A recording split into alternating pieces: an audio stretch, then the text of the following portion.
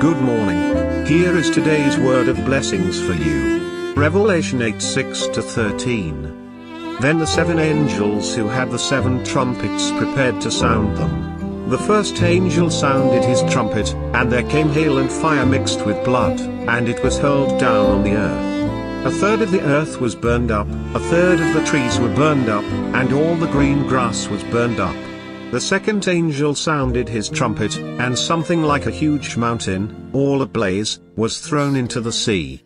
A third of the sea turned into blood, a third of the living creatures in the sea died, and a third of the ships were destroyed. The third angel sounded his trumpet, and a great star, blazing like a torch, fell from the sky on a third of the rivers and on the springs of water, the name of the star is wormwood.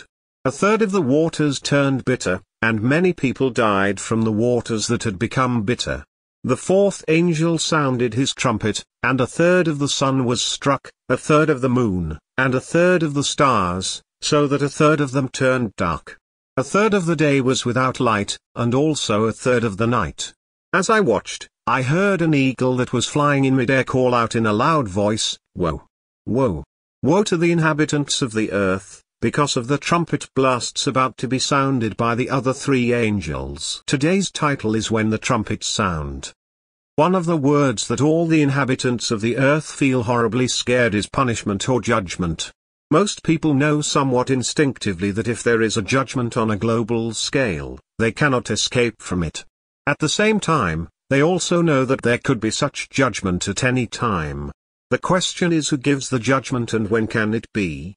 The Bible gives a clear answer. God is the judge that gives the great verdict and punishment on earth. He is not the kind of judge who takes pleasure in laying down judgment on people. Rather, he is the judge who loves to forgive and forget all the sins that inhabitants of earth had committed no matter how frustrated he is at times. We read in the Bible that he sometimes regretted that he has made people on earth. The Lord regretted that he had made human beings on the earth, and his heart was deeply troubled. Genesis 5:6. He is the judge who is quick to forgive and slow to anger. Nevertheless, he is the judge anyway. We have seen how horrible it can be when he finally releases his judgment after long endurance at the time of Exodus. Water in the Nile River turned into blood. Horrible diseases broke out one after another. The first sons of all Egyptian families were killed.